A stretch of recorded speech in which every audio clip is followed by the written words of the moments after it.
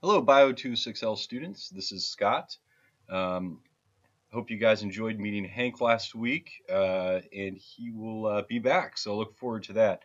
Um, today, what I'm going to do is I'm going to walk you through uh, a couple steps on how to do your gel analysis of your restriction digest. So in order to do this, you guys are going to need a couple things. One, you're going to need a picture of your gel, um, and you need to have a ruler in the picture as well as your uh, LIs instructed you to. Um, you're going to need uh, some kind of very simple picture editing software. In this, I'm going to use Microsoft Paint. Um, and you're also going to need Logger Pro. Uh, and you should have downloaded Logger Pro. Uh, at this point, everybody, uh, there's free licenses available. Um, if not, you can go ahead and visit our course website uh, to find information. Email your LIs, email me, um, and we'll get you set up. So. So the first thing I'm going to do is I'm going to go ahead and uh, use Microsoft Paint to take a look at one of my gels. Um, and this is just a picture I saved to my desktop. So what I'm going to do is I'm going to open this with Paint. And the reason I'm doing this is I want to crop down the size of this picture. Uh, so Logger Pro has a little bit easier time doing analysis. So uh, what I need to do here is just kind of select down um, so I get most of my ruler. I can see the measurements. I'm getting just my gel in. I'm going to go ahead and crop that. And I'm just going to save it again to my desktop as a JPEG. It doesn't really matter the format. Uh, maybe just rename it here uh, for Logger Pro. Okay. You can see I've already practiced this once, so um, it's all good. Now we're going to go over here and open Logger Pro. And we're going to click on the uh, insert button and gel analysis. And I'm going to take it from a file because I just saved that to my desktop. And here we go. You can see I've got the picture saved right there. Open. And here we go. Okay, so the first thing you guys are going to notice is that we've got a picture of our gel here. We got some little buttons here on the side uh, the data set, and this graph here. Now this graph here, um, this x and y uh, plane, we, it's not really that important. So what I'm going to do is I'm just going to select it, and I'm going to delete it just by hitting the delete key because we're not really focusing on that. Um, the type of uh, analysis we're doing is really just a number of base pairs. So what I'm going to do here is just rearrange things a little bit, and you can do that by moving your cursor over the box and you see it turns to the uh, finger finger selection. And then you just click hold and drag uh, and Logger Pro will snap it up there for you nice and easily. Um, I'm also going to do the same thing here but I'm just going to resize my data set because uh, we're going to be measuring the log ladder here. And it's got a, quite a few bands so now I'm just going to expand this down as well. So get a nice big picture and you can see this is the reason why I decided to crop it in Microsoft paint. okay, so we are now ready to start uh, our gel analysis here. Um, and the first thing we want to do is we want to set our origin. And you can think of the origin as the um, x-axis. Uh, and what we're going to do here is I'm just going to click. So I clicked set origin button, and then I just clicked once here in the Logger Pro. Um, and what we're trying to do here with our origin is we're trying to set it so that it is in line with the front edge or the leading edge of your wells. So you can see obviously my picture's a little crooked here. Don't worry, you see this little dot? If you click and hold on it, it allows you to just rotate your origin here a little bit. So I'm going to try to get it in line as best I can. I'm going to drag it up a little bit. Uh, and again, it doesn't have to be perfect, but the uh, you know the better in line you get, the more accurate uh, the program will be. So you can see I'm pretty close here. I might be a little, little high, but let's see. Get a little bit better. Uh, that looks pretty good right there. Okay. So the next thing we're going to do now, we have our origin set. We're going to click the next button underneath it. It says Set Scale.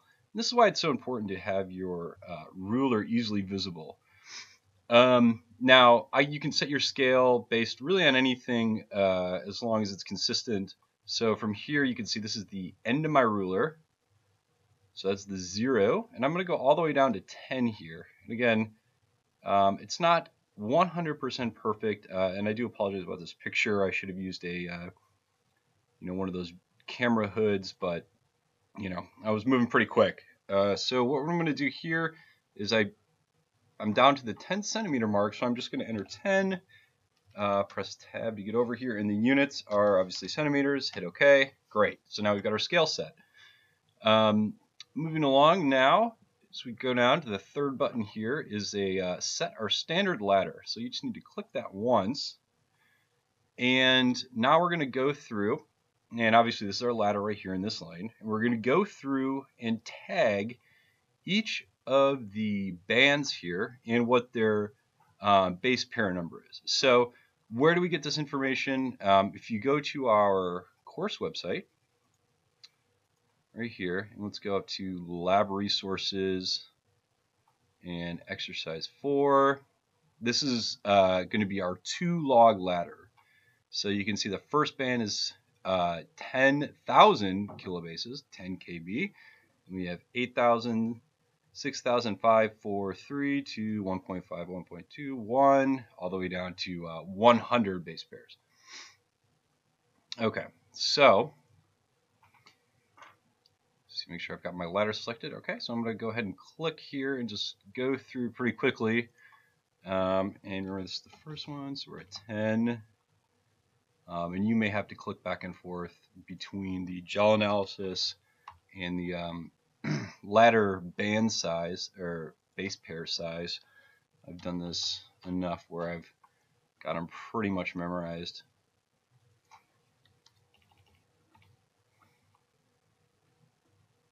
So again, you can see I'm clicking on the leading edge of the band, uh, and that's important because you don't want to be kind of in the middle. That's not really the most accurate. Uh, you can see these bands have some some depth to them, um, and the most accurate is on the leading end.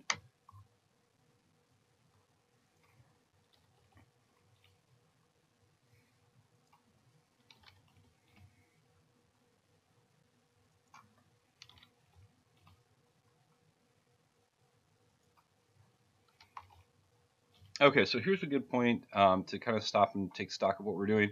Um, if you notice this big blue smudge in the middle, well, that's the uh, leading dye front. Um, that's what you guys were using to determine if you would run your gel far enough or not. Uh, and that's actually obscuring 9 through 600 uh, base pair two log ladder bands. Um, and that's okay. So what we're going to do though is you can see this next bright band here. That's 500.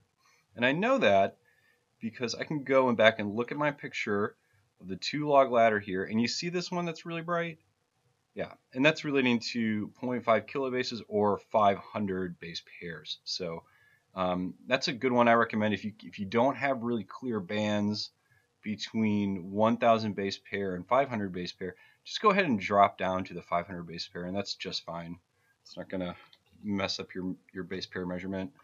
Um, and, you know, I'm going to go ahead and actually stop there because if you look, uh, none of my bands, and really none of your bands should, if you've done everything correctly, run below um, 1,000 base pairs. So that's enough of tagging my ladder there. Um, and now I'm going to start tagging my bands. So I'm going to go over here where it says add lane.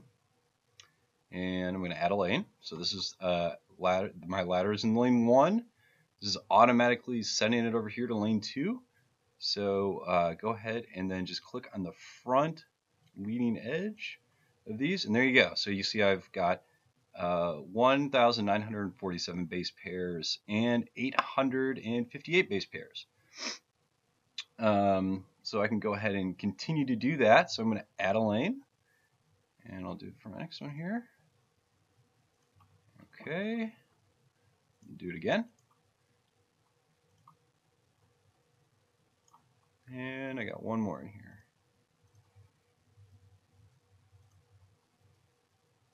Okay, so there we go. You can see there's a small margin of error here, but everything's pretty consistent, um, which is, you know, what we're looking for. Uh, you know, if you're off by a hundred or so, you know, not a big deal. Um, it's just kind of what I would call a user error or, you know, not getting it right tagged right on the front leading edge. So, um, hopefully that was uh, informative for you guys. And, uh, you know, let me know if you have any questions or are unable to download Logger Pro.